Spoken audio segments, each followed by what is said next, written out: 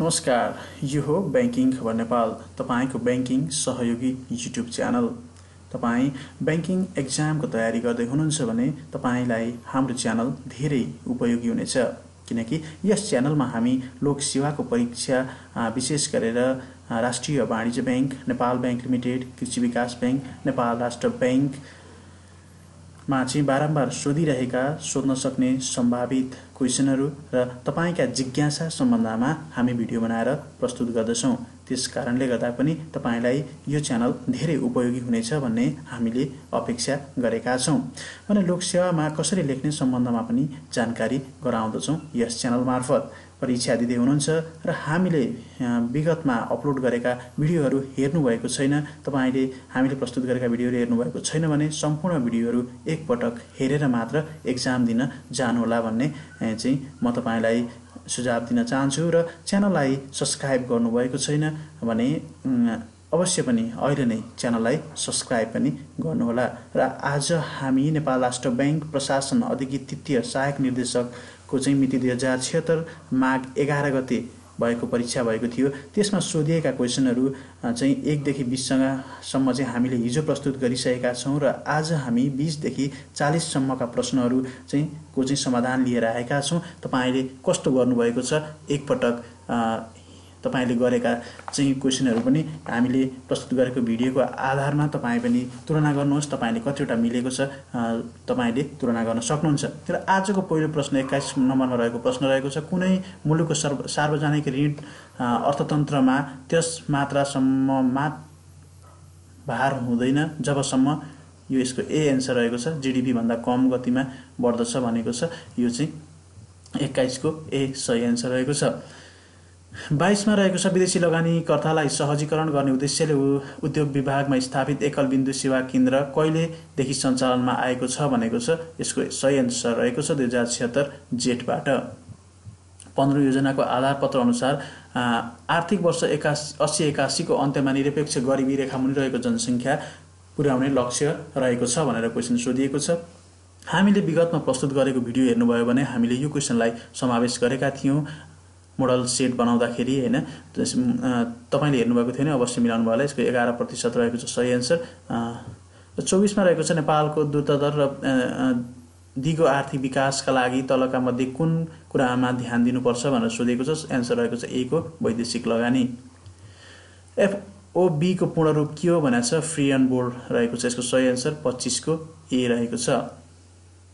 छब्बिसमा रहेको छ पुँजीवादी अर्थतन्त्रमा उत्पादनको आधारभूत उद्देश्य ड्यास ड्यास हुन्छ भनेको छ। यसको तपाईँले सही एन्सर के लेख्नु भएको छ हामीलाई कमेन्ट गर्नुहोला र यसको सही एन्सर के हो यसलाई चाहिँ तपाईँलाई कमेन्ट गर्नुहोला। हामीलाई हामी त्यस पछाडि तपाईँलाई प्रत्युत्तर गर्नेछौँ कमेन्ट मार्फत।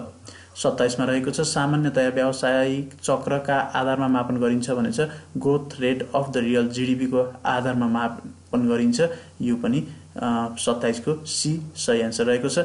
आदर्श अर्थशास्त्रसँग सम्बन्धित निम्नमध्ये कुन हो भनेको छ माथिका सबै डी एन्सर रहेको छ। नेपालमा कुल राष्ट्र उत्पादन जिडिपीमा कृषि क्षेत्रको हिस्सा भनेर सोधिएको छ। यो भनेको घट्दै गइरहेको अवस्था छ। उन्तिसको बी एन्सर रहेको छ। अर्को रहेको छ अ, तलका मध्ये कुन विश्व व्यापार सङ्गठनको मुख्य उद्देश्य हो भने चाहिँ विश्व व्यापारमा रहेको विभेद हटाउनु चाहिँ यसको मुख्य उद्देश्य रहेको छ। पुँजीकोष गणना गर्दा कुल जोखिम भारी सम्पत्तिलाई ड्यास ड्यास भारमा विभाजन गरिन्छ भनेको छ। तिन भागमा विभाजन गरिएको छ। पुँजीकोष कुल जोखिम भारी सम्पत्तिलाई होइन तिन भागमा यसको एन्सर रहेको छ। एकतिसको सी रहेको छ। तरलता अनुपातलाई कसरी अभिव्यक्त गर्न सकिन्छ भने चाहिँ शुद्ध अनुपातको रूपमा चाहिँ व्यक्त गर्न सकिन्छ। कारोबार अनुपात भन्नाले के बुझिन्छ भनेर अर्को क्वेसन रहेको छ। यो पनि तपाईँलाई होमवर्क रहेको छ। तपाईँलाई दुईवटा क्वेसन हामीले हिजो पनि दुईवटा क्वेसन चाहिँ तपाईँहरूलाई चाहिँ एन्सर नदिई छोडेका थियौँ होइन। तपाईँले कमेन्ट गर्नुहोला। कमेन्टमा तपाईँको सही एन्सर दिनुहुन्छ हुँदैन भनेर हामी तपाईँलाई प्रत्युत्तर गर्नेछौँ त्यसमा। र चौतिसको एन्सर रहेको छ नेपाल राष्ट्र ब्याङ्कको निर्देशनअनुसार आधार ब्याज दरको योगफल हो भनेको छ।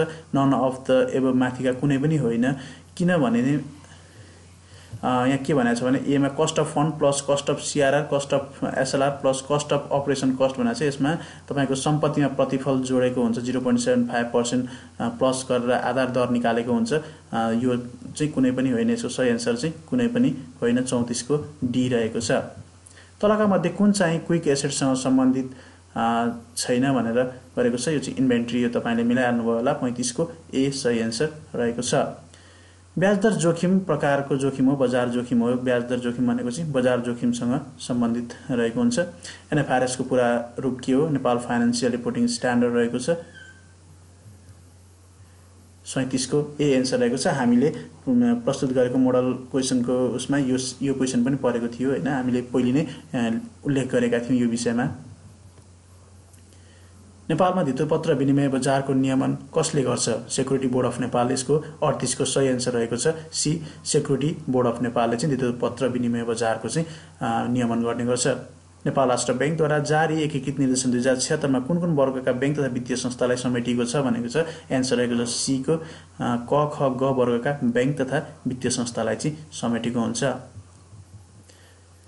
अर्को रहेको छ चालिसमा रहेको छ। तपाईँको चालिसमा सोधेको छ कुन वित्तीय अनुपात तरलता सम्बन्धी अनुपात होइन भनेको छ? डेप्ट इक्विटी रेसियो चाहिँ तरलता सम्बन्धी अनुपात होइन भनेर एन्सर रहेको छ। आजले हामीले तपाईँलाई बिसवटा क्वेसन प्रस्तुत गऱ्यौँ। कस्तो लाग्यो सल्लाह सुझाव दिन नबिर्सिनु होला र कमेन्टमा तपाईँले हामीले सोधेका दुईवटा बाँकी रहेका दुईवटा क्वेसनको एन्सर पनि लेख्न चाहिँ नबिर्सिनु होला धन्यवाद।